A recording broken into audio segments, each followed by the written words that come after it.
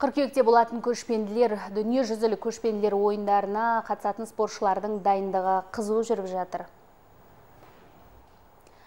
Енді олар ел намысын қорғайтын ұлттық болмысымызды айшықтайтын додаға асық спортынан үш жерлесіміз бақ сынайды. Сайып қырандарымыз кімдер, олардың дайындығы қалай, Перизат Биназарғазы біліп қайтты.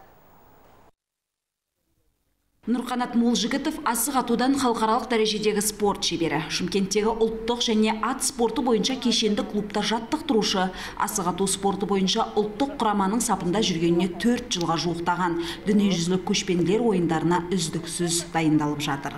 Бұрынғы бір сөз бар еді ғой бір асық ойнаған азар ойнаған тозар болса қазір аллаға шүкір асық ойнаған озар деген сөзді өзімізге нақыл қылып алып енді осы асық ату түрінен тұңғыш рет 2024-те әлем чемпионаты өтейін деп жатыр құдай қаласа. Ода да спортшымыз бақ сынайды құдай қаласа құдай амандығын берсе әлбетте жауапкершілікті біз де сезінеміз.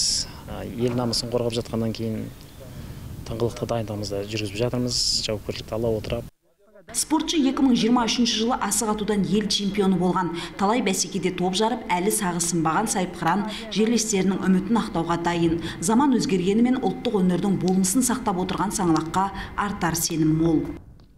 Еңбек қой тек қана. Еңбектің арқасында жеңіске жетеді. Енді жарыс көрсетеді бәрін. Үлкен сенімдеміз. Құдай қаласа дайындалып. Қала тарапынан, спорт басқармасы тарапынан ұлттық және ат спорты клуб тарапынан спортшыларымызға қандай жағдай жасалу керек бәрі жасалып отыр. Ұлттық спорт деп атамыз ғой.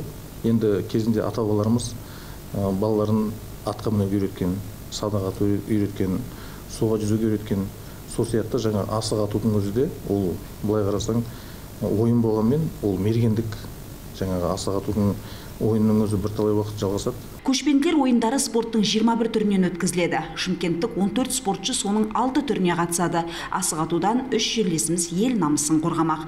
Перизат биназарқызы нұрберік тұрғын ербол махашев жаңалықтар.